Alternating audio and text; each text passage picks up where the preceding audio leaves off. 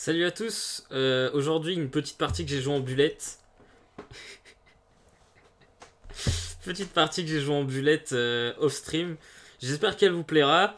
Euh, alors, ce qui s'est passé, c'est que il y a eu des dingueries.